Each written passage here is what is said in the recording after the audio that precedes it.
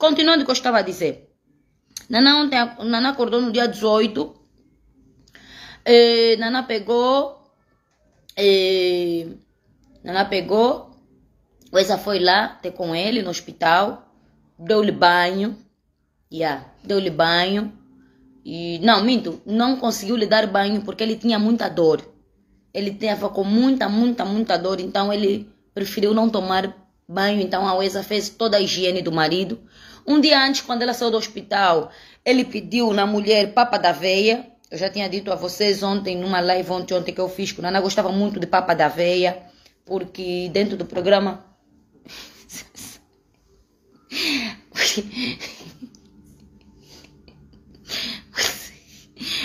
dentro do programa, nós, nós muitas das vezes o Naná pedia mesmo, More, hoje eu não quero jantar coisa, sopa, não quero jantar caldo, não quero jantar funs, não quero jantar batata frita com arroz, hoje eu quero mesmo papa da aveia. More, hoje eu quero comer, eh, comer isso, eh, arroz doce, porque o Naná era mesmo muito mimoso, muito mimoso, e a tinha muita paciência com ele.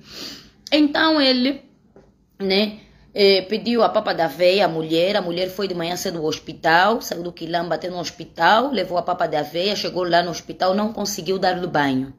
Por que, que não lhe conseguiu dar banho? Relatos da própria mulher. A própria mulher dele explicou isso que eu vos transmito. Relatos dela própria. Eh, chegou a Wesa, chegou no hospital, não conseguiu dar banho porque ele tinha muita dor. Ele disse: estou com muita dor, muita dor, muita dor, muita dor, muita dor. Ok, a Wesa disse: tá bem, então vou te fazer a higiene aqui na cama. Wesa pegou, tratou do marido, fez a higiene, papapá, ficou, tu, tu, tu, deu de comer o marido, hum, deu de comer o marido dela, comeu a papa de aveia. Nana pediu para lhe colocar em louvor. Nana disse na Wesa: por favor, me coloca louvor. Wesa pegou, carregou o telefone, internet Pegou, pôs louvor no Naná, Naná deitou e o Naná foi. Assim foi o Naná e a sua morte. Segunda mulher, né? Segunda a Uesa, ela, ela, adormeceu. Ela disse para ele, como está descansar, já não lhe vou acordar. Então vou para casa para fazer o almoço rápido e descer. Quando ela chega em casa, o telefone toca. Quando ela chega em casa, a Uesa, o telefone da Uesa toca. Assim que o telefone da UESA toca, era o diretor clínico do hospital. Disse, olha, UESA, tudo bem? Yeah. É, para, é para avisar que para vir ao hospital e para aí fora, quando chegar no hospital, vai ter com a, a, a médica, né? A da equipa, a médica vai, vai lá, vai lá, administração vai ter com a médica responsável. Ok. Ela disse, mas a médica responsável, será que o estado clínico dele piorou Será que não piorou? Ok, tá bom. Então ela disse, eu, ela disse, mana, eu não fiz 40 minutos, não, acho que eu não fiz 40 minutos. Saí do quilamba, tu, tu, tu, tu, tu, tu. Saí do quilamba correr, ia sair do quilamba correr, tu, tu, tu, tu, tu, tu, tu. Vim até eh, o hospital. Posta no hospital, não é? A médica chamou-lhe, Nana já tinha morrido. Ou seja, naquele momento, eu acho que o que eu eu disse a Wesa ontem, eu disse, Wesa, naquele momento que ele puseste louvor e não sei o quê, ele partiu mesmo. Só que tu é que não, provavelmente não deste conta. E se os órgãos ainda estavam a, a, ali a desfalecer aos, aos, aos poucos, né? E aí ela pôs o louvor, ele deitou, ele descansou, ela chegou em casa, né? Para ir fazer o almoço. Quando ligaram, a Wesa desceu, foi para o hospital, chegou no hospital. É, a médica chamou-lhe, aquela médica que deu o comunicado, a médica chamou-lhe. Assim que a médica chamou-lhe, é, a médica pegou, é, explicou, disse: Olha, nós tentamos fazer tudo que nós podíamos, porque ela tem então. A Uesa, quando chegou lá, também encontrou uma irmã do Nanato que também ligaram para ela. Então a Uesa pensou que até então não é? Seria para falarem que o caso dele clínico piorou, mas não seria para lhe darem a notícia da morte do seu esposo. E ela disse que pegou, eh, quando a médica disse, olha, nós fizemos tudo, ele lutou muito, mas infelizmente ele partiu. Ela disse que naquele momento não tinha ainda caído a ficha nela, yeah? Ela pegou, entrou pro quarto, pediu para entrar pro quarto, entrou pro quarto, encontrou Naná ainda no quarto, porque tinham que esperar mais membros da família para levarem. E aí encontrou Naná ainda no quarto, posto no quarto, ela diz que abriu um bocadinho as persianas. Depois de abrir as persianas, ele estava tapado, destapou o marido, viu que a múmia já estava a ser feita, ou ainda não tinha sido feita, mas ele já estava tapado. Ela diz que naquele momento a ficha caiu. Naquele momento ela abraçou o marido, ela gritou, gritou, gritou. É, surgiram alguns outros constrangimentos realmente no hospital, é, por conta de que? De emoções, por conta de é, emoções geram situações, conforme eu tenho sempre dito, que toda emoção gera uma situação, se não soubermos controlar. A Silvia Lutucuta deu uma palestra, mandou todo mundo ir para o auditório. Hum? A Silvia Lutucuta foi para lá, mandou todo mundo ir para o auditório. A Silvia Lutucuta deu uma palestra acerca do câncer, os derivados do câncer, não é? Soluções e combates, o que, que a doença faz no corpo, o que, que a doença não faz no corpo. Tanto a UESA quanto a família do Nagrelha saíram de lá consciencializados que o Nagrelha tinha um câncer, que a doença mata, e isso, e aquilo, e aquilo. Ok. Há uma passagem do Naná que o Naná diz assim: Eu sei que as pessoas falam mal de mim. Eu, todos os dias que acordo, tem alguém que fala mal de mim. Mas o que me conforta é que as pessoas falam mal de mim. Se em vida as pessoas falavam mal do Naná, em morte vão piorar a especulação. O bom é que nós entendemos quando estamos no mundo da fama, no mundo de conhecimento, é que entendemos que o fumo vai ser agora porque o fogo está aí. Em seguida, quando o fogo acabar, o fumo também passa. Não vai ser preciso chamar bombeiro. Não vai ser preciso isso e aquilo. Talvez um dia vocês vão ouvir a Uesa falar. Mas por agora, ela vai se manter no silêncio dela. Especulem o que quiserem especular. Falem o que quiserem falar. Mas só não acho justo pessoas que não estão dentro do assunto. E aliás, essas páginas todas, esses portais todos a falarem do Nagrela, por que, que o Nagrela, quando tá doente, estava doente, ninguém fez uma corrente de oração, já que vocês sabiam por notícias fidedignas que o MPLA lhe matou, lhe envenenou, ou que a UNITA mandou lhe envenenar no podcast do Fly. Se vocês já sabiam dessas informações de, de, de fidedignas, então compactuaram com a morte do Nagrela. Por que, que vocês não anunciaram, olha, o Nagrela foi envenenado, por favor, vamos fazer uma corrente de oração, vamos no hospital, vamos fazer isso, vamos fazer aquilo. Nunca fizeram. A família dele nunca viu lá certas pessoas que hoje estão a se aproximar como verdadeiros amigos.